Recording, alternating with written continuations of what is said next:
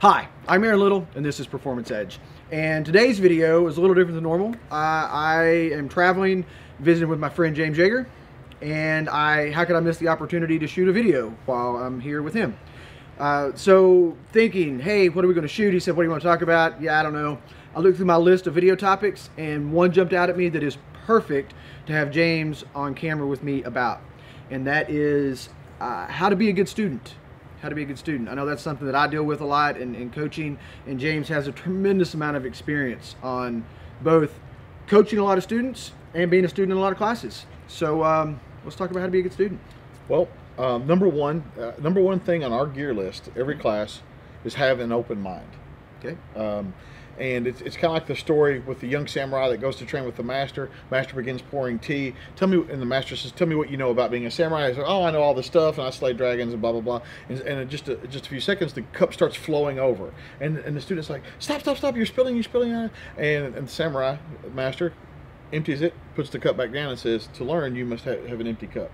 So when the guy started talking about all the crap he knew, the, the instructor knew at that point that this guy's going to be hard to train. I have to have a mindset shift for him. Yeah. Um, something I've heard you say often. I now kind of echo the same sentiment that it is it is amazing how much money, time, and effort a student will spend to come to a class to show me how much they know. Yeah, Clint Smith actually says it the best.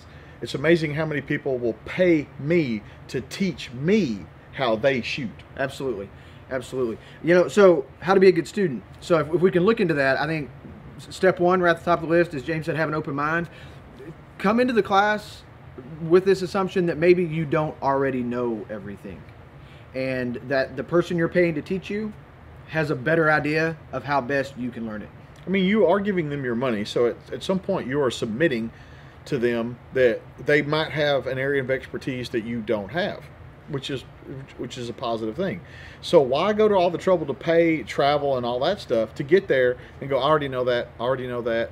I already just looking for the new stuff you should hear everything that's being presented. Absolutely. Um, so something I, I think I've got a previous video about. You know, our goal in training should always be to look for that thing that we suck at. You know, we want to be told, "Hey, you're great. There's nothing else I can teach you." But we spent money, time, and effort to come to a class, so we should be looking for, "Wow, you suck at this." and here's the steps we're going to take to make you not suck so much and and and to attain mastery with any with any discipline is master the things you don't like to do, and we don't like to do the things we suck at. So Absolutely. if you only practice the stuff you hate, that's how you become a master. So, something I, I, see, and I've seen this in myself too, but I see it in a lot of students, and I'm, I'm sure you do too, is they have this thing. They, they show up to a class, whether it's a, a one day, a two day seminar, workshop, top class, or ongoing training, but they have this one thing they really want to learn how to do. So much so that they, they forget about and, and want to ignore any supporting tasks that they have to learn before they can do that. And they don't want to pay any attention to that. You want to be a good student, you have to build the foundation to get to where it is you want to be to learn the, the cool stuff. Right. I almost did the, the quote. The quote. Yeah. Um, what's funny is uh, you talked me into doing shooting missology. Right. And I thought, I didn't think there would be much use in it or whatever the case may be. Turns out it's the most acclaimed video that we've ever produced yes. together. And there's uh, on all my videos. There's a link below where you can download these videos. But but um, and so for me, what I what I tell anybody is it's it's, it's even I kind of overlooked the importance of some of that stuff. Right. So how could you be immune from it? And so luckily, Aaron did talk me into doing that video. And the biggest, the the the most um, appreciative comments from that video come from current instructors. Yes. I agree. I agree. I hear it all the time. Uh, because, and those foundations are important. If you want to do, really, there, there are no advanced techniques. There's no advanced techniques in, in the shooting world, in the martial arts world, in the, you know, for those of you that know an aerial art school, there's not really advanced techniques there either. There's just the way you combine foundation basic moves and the way you, you do those things. So you have to have those foundations. You know, something that I think gets, gets missed a lot when people talk about being a good student in a class is the role you as a student play in the development of the other students. So sometimes when you have that question and you don't want to ask it because you don't sound silly, that's kind of the example we think about. You don't want to ask that question because you don't want to sound silly. Well, there's a good possibility the guy next to you has the same question and he's also afraid to ask it. So if there's something you don't understand in a class, just suppress that ego.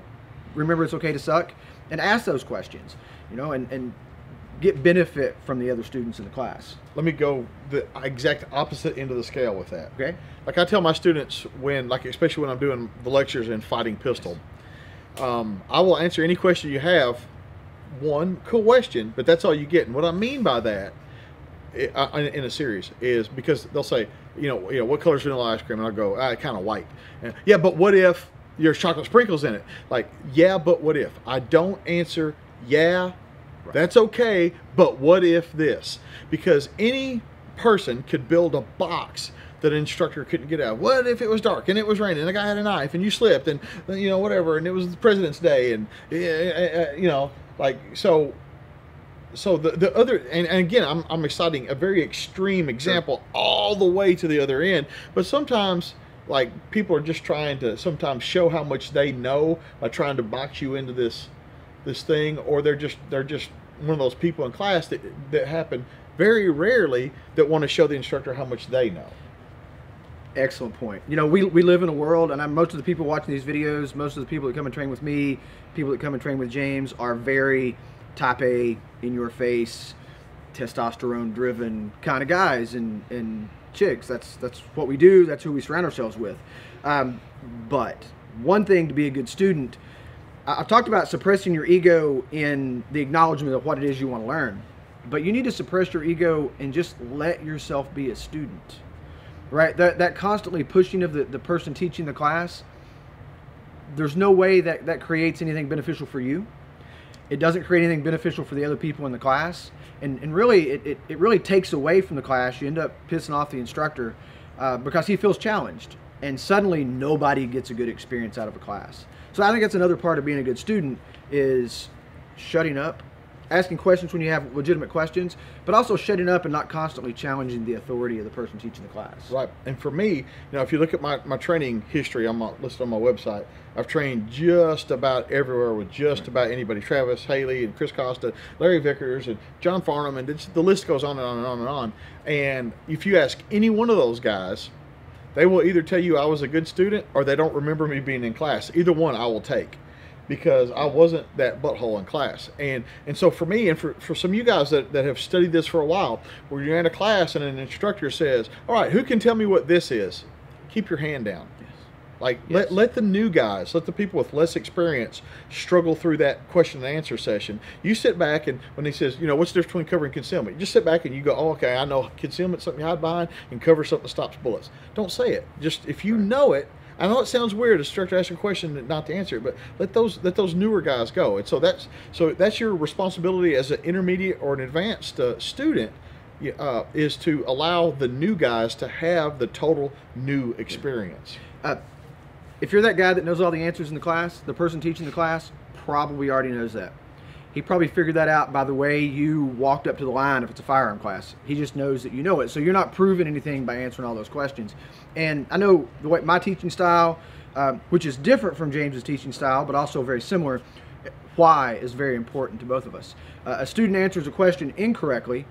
Uh, I'm not just going to tell them they're wrong, but I'm going to give an explanation of, of why that might be incorrect that explanation is now a lesson for all the other students in the class. And that's called a teaching moment. So you can turn anything that, that could potentially be bad as an instructor into a positive teaching moment. Like if, a, if there's some weird malfunction with a gun, you can either stop the whole class and go over and fix it, or you can stop the stop the class and go, look, we got one of these type 19 malfunctions. These are so rare. Everybody come here and look and blah, blah, blah. And you can turn that negative thing into a positive teaching moment. Absolutely. And we're kind of getting off on how to teach classes now. We, we are. We are. Uh, so let, us steer that back to uh, to being a good student.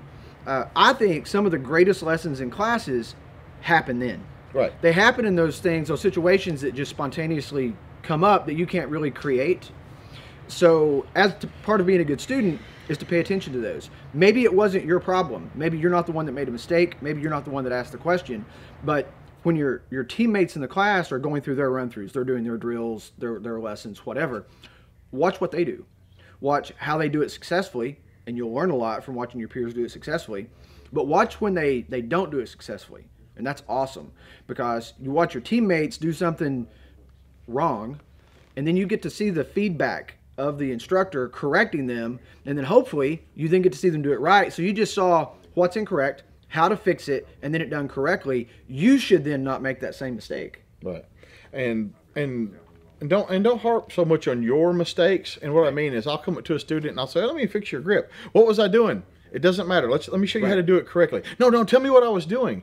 No, you don't pay me to teach you how to do it wrong. Absolutely, absolutely. You know, and again, I, we'll, we'll do a video some other time on the coaching side of this. Um, but sometimes I have students in classes. I'm giving away a teaching secret. Secrets. Sometimes I'll have a student in a class, and I, identify early on that student is not that type A in your face kind of guy. He's nervous about being there. Maybe he's never trained before. He doesn't know he what to she. expect. He or she, he or she, they don't know what to expect. And I just know that if I if I get on to that student, I might lose them. At least early on in the class.